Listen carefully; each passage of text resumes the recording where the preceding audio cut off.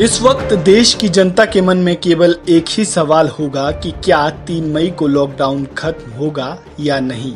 तो हम आपको बता दें कि 27 अप्रैल को पीएम मोदी ने सभी राज्यों के मुख्यमंत्रियों के साथ बैठक की है, जिसमें उन्होंने लोगों को कोरोना से बचाने और लॉकडाउन खोलने को लेकर चर्चा की।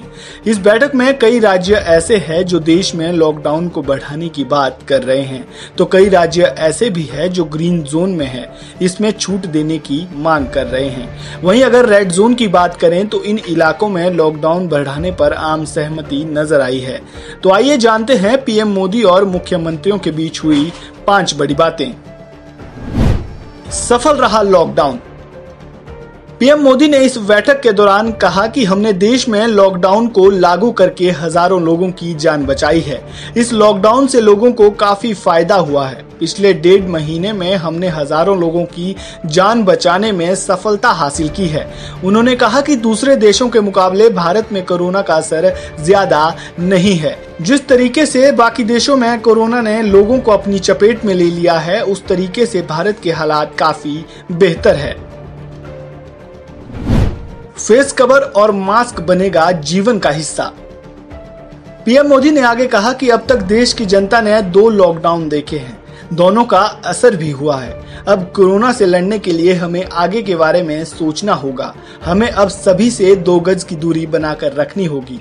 पीएम मोदी ने कहा कि इस वायरस का असर आने वाले दिनों में भी देखा जा सकता है।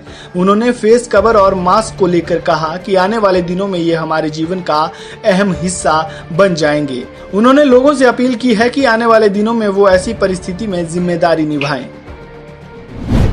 ऑरेंज और ग्रीन जोन वाले इलाके होंगे लॉकडाउन मुक्त। पीएम मोदी ने कहा कि हमें आने वाले दिनों में देश की अर्थव्यवस्था को भी ध्यान में रखकर चलना होगा। उन्होंने कहा कि अभी हमारी अर्थव्यवस्था की सेहत ठीक है, लेकिन परेशान होने की कोई ज़रूरत नहीं है। उन्होंने ये भी बताया कि ऑरेंज और ग्रीन जोन में आने वाले इलाकों में लॉकडाउन को खोला जा सकता है। उन्होंने कहा कि साथ ही साथ हमें कोरोना वायरस से भी लड़ना होगा। विदेश में फंसे भारतीयों को लाने की बात।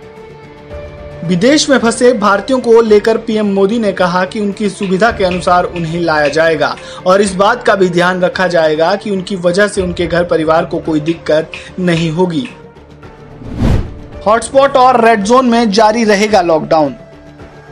पीएम मोदी ने बैठक में राज्यों के मुख्यमंत्रियों से ये अपील की है कि हॉटस्पॉट और रेड जोन वाले इलाकों में लॉकडाउन सख्ती से लागू किया जाए। उन्होंने कहा कि राज्यों को कोशिश करनी चाहिए कि हॉटस्पॉट और रेड जोन वाले इलाके को ऑरेंज जोन और उसके बाद ग्रीन जोन में बदला जाए।